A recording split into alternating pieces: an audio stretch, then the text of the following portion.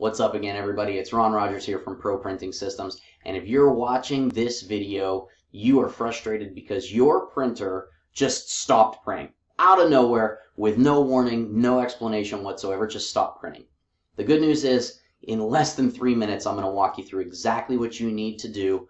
Uh, this will be for any type network printer, but I'm going to show you on a Canon imagePROGRAF IPF series printer. We're just going to change the IP address and reinstall the driver to match. Setting the IP address to a static address is fairly simple to do. Scroll over using the circular navigation keys, push all the way to the right until you reach the menu. When you press OK, we're going to scroll down to Interface Setup.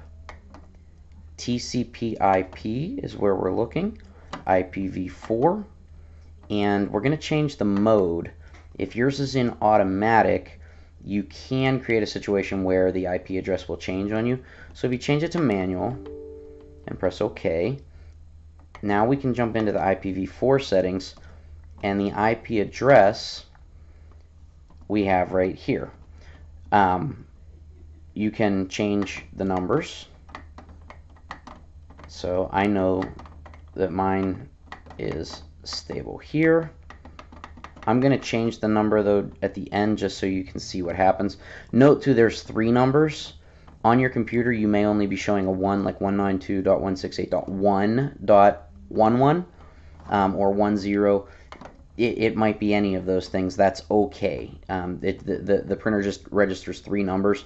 If yours is .1 on your computer, just use a .001 here.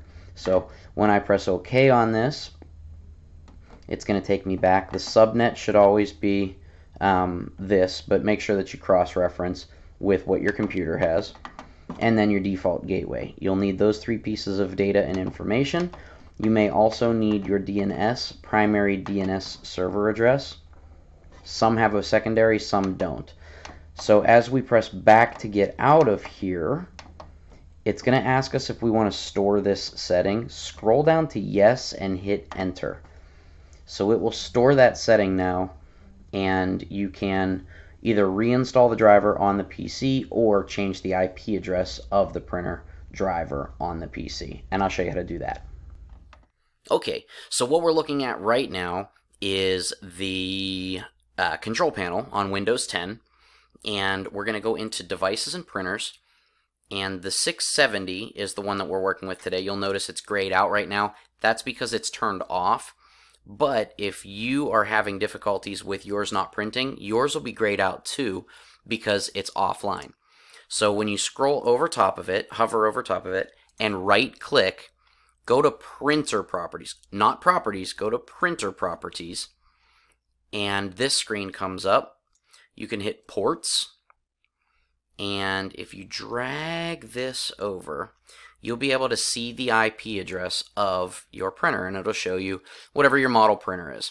If this IP address does not match the IP address that is on the printer, you will not be able to print because the computer is sending the information to essentially the wrong phone number. It's just the wrong number. You're calling the wrong person.